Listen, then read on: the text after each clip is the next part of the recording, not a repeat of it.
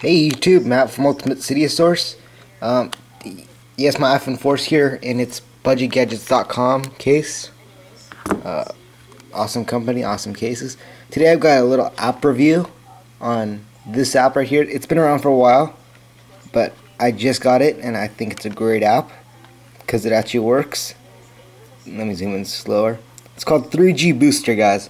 And what this does is it makes your 3G network faster so when you're on 3G, you can use faster.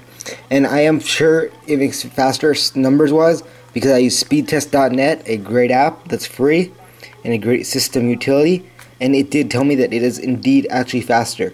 So all you do is you open this up.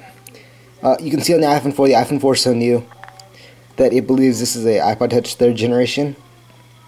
Um, yeah, you can see it says the Touch third generation, and it thinks the CPU is zero hertz instead of uh, 1 gigahertz.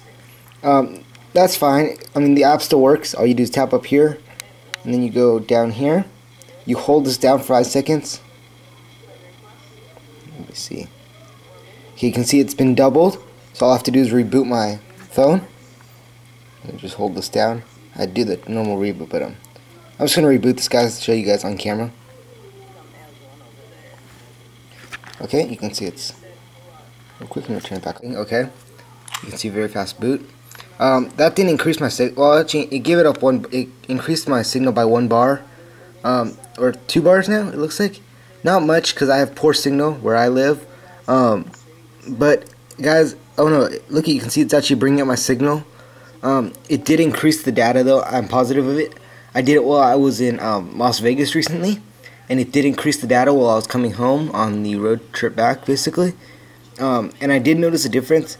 Uh, also, it did increase my signal compared to my parents' iPhone 4s, which had identical cases and identical size capacity inside of it.